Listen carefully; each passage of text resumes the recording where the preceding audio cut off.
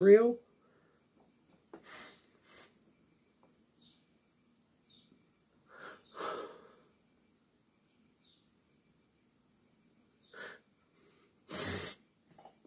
You're the person they think of. You're the you're the person they know can save them.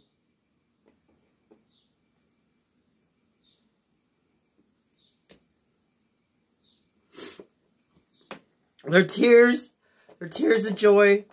Um, I, I don't see anything negative, but it's gonna hurt like hell. You know what I mean, guys? But when that hits them, and they're going through it, and maybe they don't even realize it. When they're at that point, who they want to come in and save them. Think about it. If you were in that situation, who do you call on to come in and save you? Who do you know would come in and save you? Damn, y'all, that's some deep shit. Mm. But send send some love and light, okay, guys. If you know who this person is in your life,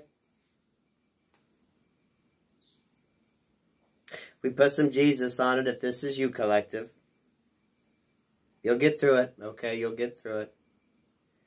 Everything's gonna be okay. But someone's gonna maybe when they're at that point, they're gonna realize who who can come in and save them, right?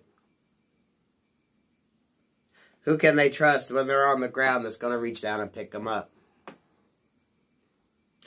Who's gonna pick them up if they get their ass kicked and they're lying there? Who can come in and fix them? Who can help them? Who's going to help them? Wow, guys.